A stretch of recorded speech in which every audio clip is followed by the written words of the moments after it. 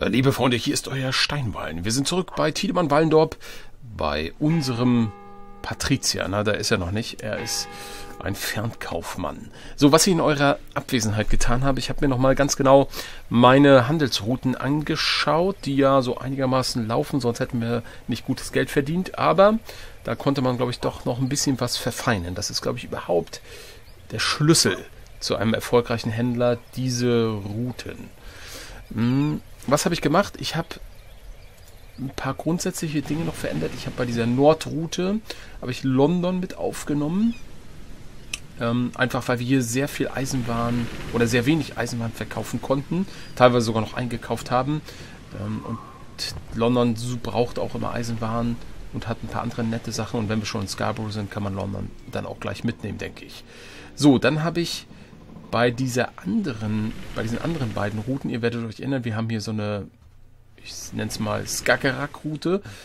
Ähm, Stettin, da war Thorn noch dabei und dann bis Oslo. Da habe ich Thorn rausgenommen, weil es eine ziemliche Abkürzung ist, dann nur von Stettin nach Malmö zu fahren. Und ich habe Thorn in diese Riga-Wispige-Route mit reingenommen, wo Danzig auch mit angeschlossen ist. Das macht, äh, das ist viel, viel sinnvoller wie mir scheint, dementsprechend die ganzen Ein- und Verkäufe angepasst. Dann habe ich noch allgemein die Preise so ein bisschen gelockert, weil man natürlich nicht mit den gleichen Preisen wie im Kontor hier auf den Routen ähm, handeln kann. Das ist klar, man muss ein bisschen ja, flexibler sein, wenn man in diese Städte einläuft. So, was ich aber jetzt machen muss nach diesen ganzen Veränderungen, ich muss leider die Routen nochmal aktiv schalten. Und das bedeutet leider, dass alle Touren jetzt erstmal zurück in die Städte kehren müssen, also nach Lübeck ähm, fahren und dann nochmal neu beginnen. Ich glaube, das kommt immer, wenn man eine Veränderung, ähm, also so eine massive Veränderung, dass man eine Stadt dort einfügt hat. Okay, gut, dann nochmal, das wurde mehrfach an, oder was heißt mehrfach, wurde ein, zwei Mal nochmal erwähnt. Ich hatte es, glaube ich, schon mal erläutert. Hm, zu Recht wurde gesagt, dass ja, ich eigentlich nach meiner Hausregel so in der Form nicht in diese Handelsrouten eingreifen könnte, sondern formal müsste man gewissermaßen diese Routen abfangen, in den Häfen dann auf sie warten oder in Lübeck warten und dann die Veränderung machen. Das stimmt. Ähm, da in dem Punkt gehe ich etwas ab von der Hausregel, weil das dann doch sehr stark das Spiel dominieren würde. Man würde eigentlich immer nur dabei sein, hinter seinen Kon äh, Routen herzufahren, um, um, um das zu verändern. Ich glaube, das würde sehr, sehr viel auch an der Freude zerstören. Das wollen wir auch nicht. Deswegen stellen wir uns vor, dass die Leute irgendwelche Nachrichten halten in den nächsten Häfen, die sie anlaufen und dort entsprechend die Anweisung bekommen, anders mit den Waren umzugehen.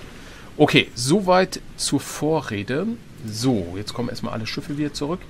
Ähm, ach so, ansonsten ist mein Plan, sobald es möglich ist, die Kontorstädte, wo wir jetzt Kontore haben, also derzeit Danzig und Aalborg, ähm, dass wir die aus diesen regulären Routen rausnehmen und direkt mit einzelnen Schiffen anlaufen, direkt sozusagen von Lübeck ähm, bedienen. Der Hintergrund ist, ich möchte ja, ich verfolge ja derzeit so ein Zentrallagersystem, das eigentlich alles erstmal nach Lübeck kommt und von dort wieder verteilt wird. Und ich will also nicht so eine Schattenwirtschaft in den Kontoren oder so eine Schattenlagerwirtschaft etablieren. Deswegen ist mir das deutlich übersichtlicher, wenn ich einfach alles aus den Kontoren dann ausräume und dann immer nach Lübeck bringe, was die dort einkaufen oder was wir dort produzieren. Man, der Vorteil ist, man hat dann sehr schnell eine gute Übersicht, wenn man auf das Lager in Lübeck schaut, wo irgendwas nicht stimmt, also wo etwas zu wenig ist, wo etwas zu viel ist, wo man verändern muss. Also wir sehen zum Beispiel Felle und Wolle ist nach wie vor ein Thema. Das ist aber was, was wir nicht ganz so schnell hinkriegen werden. Aber zum Beispiel Keramik ist was, was wir eigentlich haben müssten. Also da stimmt irgendwas nicht auf der Route und man sieht auch Honig haben wir tendenziell zu viel, aber da habe ich, wie gesagt, an den Preisen schon ein bisschen geschraubt. Okay, das heißt Keramik, lasst uns mal gleich an diesem Thema Keramik nochmal weiterarbeiten. Da habe ich offenbar was nicht beachtet. Ich glaube, hier bei der Josephine, da sind wir in Riepen. Am Ende kaufen Keramik ein und da war ich auch geizig. Da gehen wir mal auf 200 hoch. So, und dann haben wir irgendwo noch kaufen wir auf dieser Tornroute. Ich glaube, hier ist das jetzt.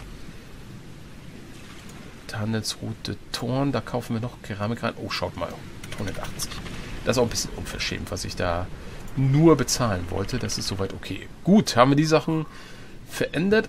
In Lübeck selbst, denke ich, können wir durchaus auch mal wieder in ein Haus investieren. Wir machen derzeit Plus, wenn ich das richtig sehe. Was Mieteinnahmen betrifft, im Gegensatz zur Grundsteuer, das ist erfreulich. Schauen wir mal kurz den Bedarf an. 89% Fachwerk. Ich glaube, da können wir schon mal wieder ein bisschen was nachlegen. Ein Fachwerkhaus ist, glaube ich, locker jetzt drin.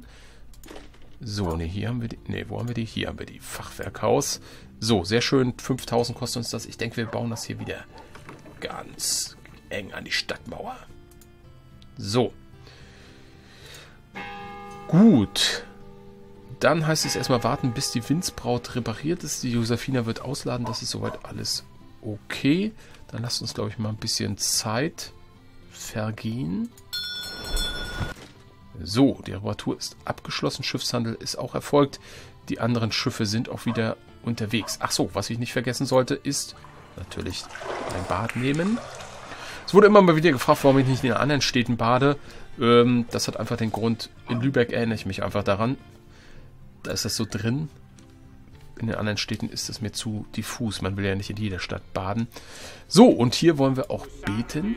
Auch das könnte man in anderen Städten machen. Aber wir beten nur in unserer Heimatkirche und wir hoffen, dass die bald ausgebaut wird. Ich glaube, wir, wir spenden noch was für den Ausbau. Ich denke, da haben wir schon einen gewissen Ehrgeiz, dass die größte und schönste Kirche des Hansa-Raumes in Lübeck steht. So, Spende abliefern. Okay, und wir können wieder fahren. Und ich habe mir überlegt, wir werden erstmal nochmal nach Aalborg fahren, weil ich im Konto dort noch was einstellen muss. Und dann wird ja bald die Brauerei in Danzig fertig. Da müssen wir, glaube ich, auch nochmal was gucken. Und möglicherweise müssen wir, also da müssen wir auch im Konterhandel noch was drehen. Und möglicherweise müssen können wir in Danzig noch was bauen. Deswegen nehme ich mal in der Windsbraut jetzt ein bisschen Eisen... Oh, wir haben kaum Eisenwaren. Na gut, nehmen wir den Rest mit. Und dann Ziegel. Wie gesagt, weil ich bauen will. Aber gucken wir erstmal, was wir in Aalborg da machen können. Okay, auf nach Aalborg. Also im Moment jetzt keine Handelsrunde, sondern ein bisschen Organisationsrunde. Wir haben Richtfest Brauhaus in Danzig.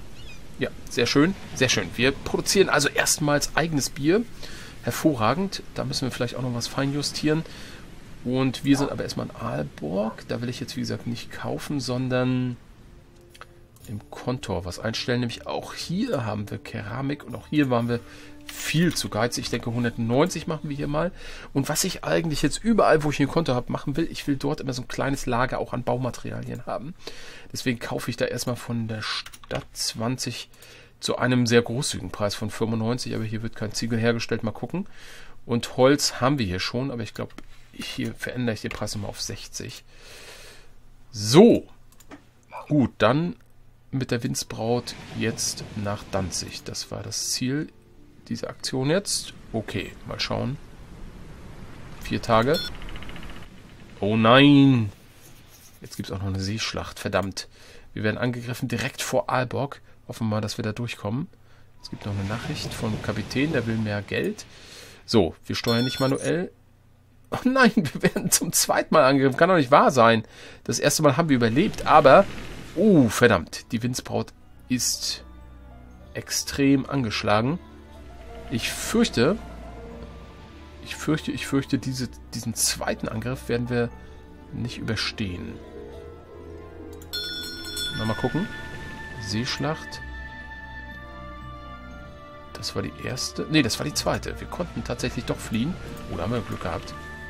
Ähm, bisher geht das einigermaßen gut mit dem also das Piratenthema ist wirklich ein bisschen schwierig, wann wir anfangen, da aktiv auf Jagd zu gehen. Da sollte man dann schon mal wirklich einen guten Kampfkreier haben oder möglicherweise zwei sogar. Ja, es ist so eine Sache, weil man sich dann dem schönen Handel nicht mehr widmen kann. Na, bisher, ich glaube, wir wurden nur zweimal ausgeraubt. Ich weiß nicht so genau. Bisher geht das irgendwie ganz gut mit unseren Kreiern.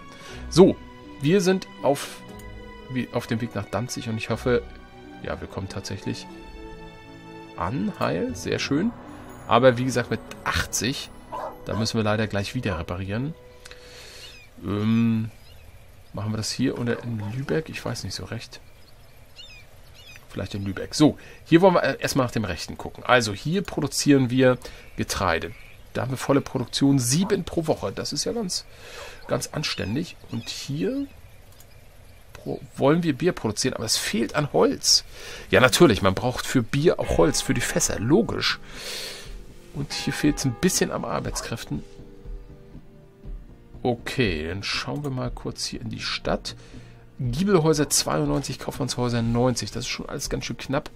Aber ich würde wahrscheinlich lieber noch ein Brauhaus bauen. Denn mit einem Verbrauch Getreide, wir produzieren sieben, können wir durchaus auch mehr hier stemmen. Allerdings Holz ist noch so ein Thema. Wir müssen Danzig mit Holz versorgen. Das ist also noch so eine Zukunftsaufgabe. Okay, gehen wir erstmal in den Konto rein. Kontorhandel. Da will ich nämlich auch Ziegel, das gleiche Ding machen. Und ebenfalls Holz, wenn es mal billig hier ist. Wobei, das wird vermutlich nicht so schnell passieren. Wir werden vermutlich jetzt sogar, glaube ich, mal direkt teuer Holz kaufen müssen, damit wir erstmal loslegen können. Machen wir das mal für 78. Wahnsinn. Okay, dann kann zumindest jetzt die Brauerei loslegen. Ihr seht, aus Rot ist Gelb geworden. Das heißt, jetzt zeigt er mir noch an, dass wir nicht hier volle Auslastung haben, sondern nur 83%. So, jetzt will ich trotzdem mal gucken, was brauchen wir denn jetzt hier für ein weiteres Brauhaus. Also, Warenkosten sind 3000. Das hält sich in Grenzen. Hm, wir könnten das ein bisschen optimieren, wenn wir nochmal zurückfahren. Ich weiß nicht so recht. Ja, ich meinte, wenn wir jetzt... Lass uns noch ein, eine Tour fahren und noch was holen. Das ist schon okay. Wir laden das erstmal nur Schiffkontor aus. Wir wollten eh nochmal reparieren. Ach, es hat zu wenig Besatzung. Auch das noch. Okay. So, dann brauchen wir ein mehr.